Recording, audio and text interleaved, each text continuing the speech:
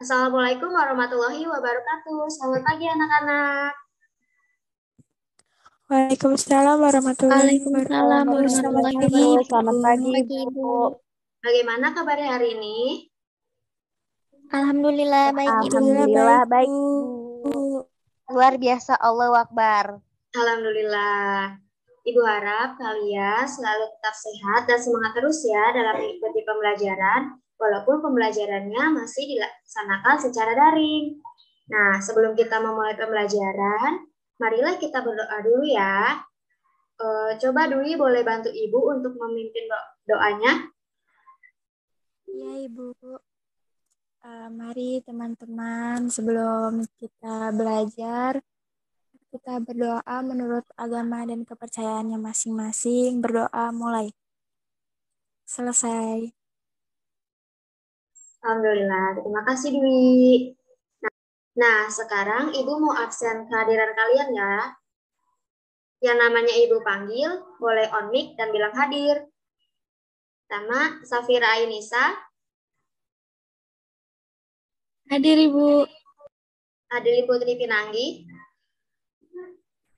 Hadir Ibu. Alma Maulida, Hadir Ibu. Dwi Aprianti, Hadir Ibu. Rozia Nuraini, Hadir Ibu. Lucy Aprilia. Nah, Alhamdulillah. Masuk semua ya. Anak-anak, sebelum kita masuk pembelajaran, kita tepuk semangat dulu yuk, biar kalian semua semangat dalam pembelajarannya. Satu, dua, tiga. On mic dulu, tepuk semangat. Semangat. Semangat. Semangat. Yeay, itu udah pada semangat kan? Nah, pada hari ini ada yang tahu kita mau belajar apa? Nggak tahu Bu. Baik. Ibu izin saya screen dahulu ya. Jadi, pada hari ini kita akan belajar mengenai tema 2, udara bersih bagi kesehatan, subtema 1, cara tubuh mengelola udara bersih, pembelajaran kedua tentang organ-organ pernapasan pada manusia dan fungsinya. Nah, adapun tujuan pembelajarannya. Di sini kalian akan belajar mengenai organ-organ pernapasan pada manusia dan fungsinya. Lalu nanti anak-anak akan mendapatkan tugas membuat model sederhana pernapasan pada manusia. Nah, coba di sini siapa yang tahu apa yang dimaksud dengan bernafas?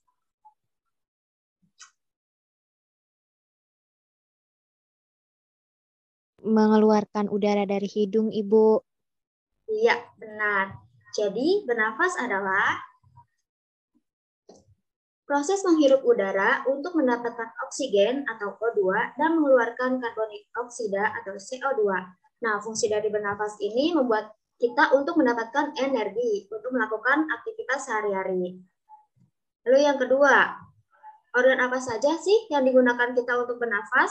Ada yang tahu nggak? Paru-paru Bu. Iya, benar, Fauzia. Lalu apa lagi ya? Hidung, Ibu. Ya, benar. Nah, untuk selanjutnya, untuk eh, memperdalam materi mengenai organ pernafasan pada manusia, di sini Ibu telah menyediakan link YouTube. Nanti Ibu kirim ke WA group. Nanti kalian buka ya, lalu disimak videonya dengan baik dan catat hal-hal yang penting. Ibu tunggu selama eh, 10 menit ya. Jadi anak-anak sudah tahu apa saja organ pernafasan pada manusia dan fungsinya. Coba Ibu mau sebutkan organ-organ pernafasan pada manusia. Ada apa aja ya? Tadi udah pada nyimak kan videonya? Sudah, Ibu. Iya, Alma. Organ. Ya. Organ pernapasan manusia terdiri atas hidung, laring, trakea, bronkus, bronkiolus, dan paru-paru atau alveolus, Bu. Iya, pintar. Terima kasih, Alma. Nah, selanjutnya untuk Jadi, seperti apa yang dikatakan oleh Alma tadi, organ pernafasan manusia terdiri dari rongga hidung, faring, trakea, bronkus, bronkiolus, dan paru-paru. Nah, di sini Ibu akan menjelaskan organ pernafasan pada manusia dan fungsinya. Yang pertama ada hidung. Fungsi hidung ini apa ya? Hidung ini merupakan tempat masuk dan keluarnya udara. Nah, di dalam hidung terdapat rambut-rambut halus sebagai tempat menyaring dan menangkap kotoran yang masuk bersama udara. Lalu dalam hidung juga terdapat selaput hidung, tempat melembabkan udara dan penyesuaian suhu udara. Lalu yang kedua ada laring. Nih, letak laring adalah di sini. Perhatikan ya. Di sini adalah letak laring. Di dalam laring ini, kita bisa memproduksi suara melalui pita suara. Nah, karena bentuk laring ini seperti rongga, jadi dia yang menghubungkan antara tenggorokan atau faring ke trakea lalu menuju ke paru-paru. Selanjutnya ada trakea.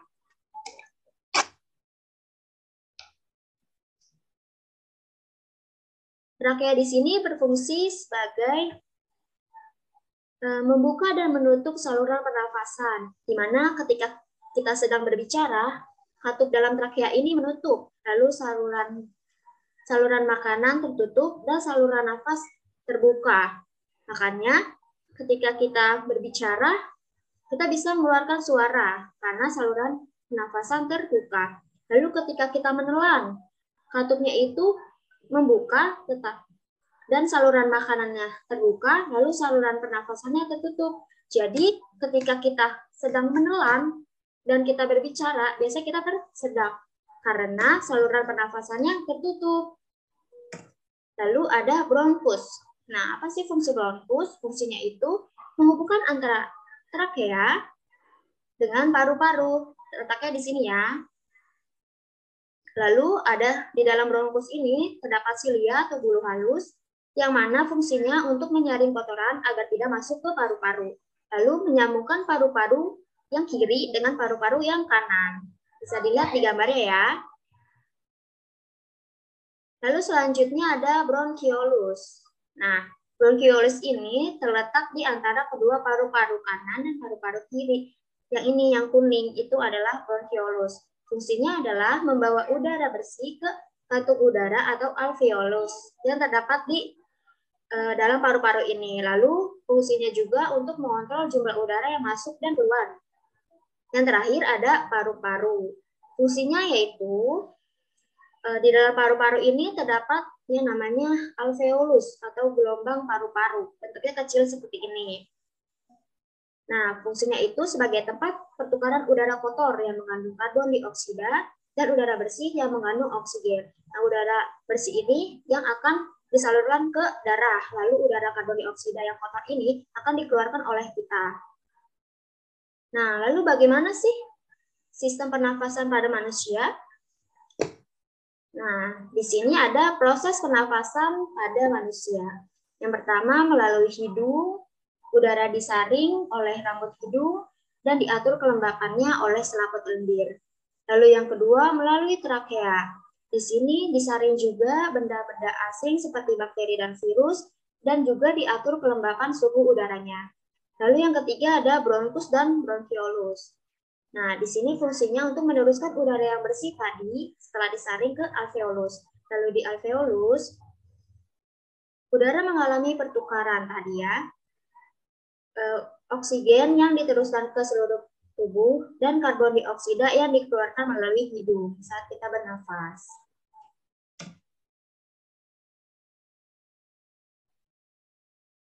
Nah, selanjutnya kalian punya tugas nih, yaitu membuat model sederhana pernafasan manusia. Nah, Ibu kirim lagi ya link YouTube-nya, disimak baik-baik. Lalu, kalian mencoba model membuat model sederhana pernafasan manusia bersama teman-teman kelompok kalian 4 eh, sampai 5 orang di mana teman kelompok kalian ini rumahnya yang dekat dengan kalian ya, jangan jauh-jauh. Biar kalian mudah juga untuk mengerjakannya. Tugas ini dikumpulkan di pertemuan selanjutnya. Nah, contohnya seperti ini ya tugasnya. Kalian membuat model sederhana pernapasan pada manusia.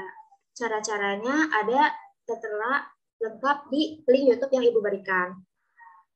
Nah, Alhamdulillah materinya telah selesai. Nah, karena materinya telah selesai, apakah ada yang mau ditanyakan terkait materi dan tugas pada hari ini? Tidak, Ibu. Oke, kalau nggak ada, Ibu mau tanya nih, hari ini kita belajar tentang apa ya? Pernapasan, Bu. Organ pernapasan apa? Organ pernapasan pada manusia. Ya, betul. Lalu tadi apa aja ya organ-organnya?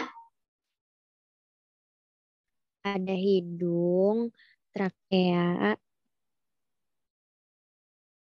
paru-paru, terus ada laring, bronkus, dan bronkiolus, Bu. Iya, pintar. Terima kasih, Alma. Jadi, Ibu. ya, kita telah belajar organ pernafasan pada manusia. Nah, selanjutnya, Ibu akan kirim Google Form, di mana kalian mengerjakan soal evaluasi pada hari ini. Dikumpulkan maksimal jam 5 sore ya.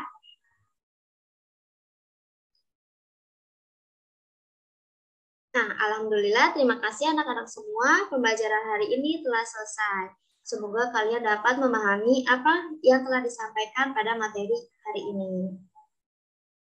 Karena sudah selesai, kita akhiri pembelajaran hari ini dengan mengucapkan Alhamdulillah.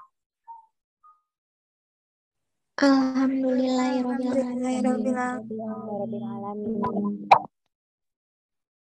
Terima kasih anak-anak. Ibu pamit ya. Tetap jaga kesehatan dan semangat terus dalam pembelajaran. Assalamualaikum warahmatullahi wabarakatuh. Waalaikumsalam Waalaikumsalam warahmatullahi wabarakatuh. warahmatullahi wabarakatuh. Terima kasih, Ibu. Ya, boleh live semuanya.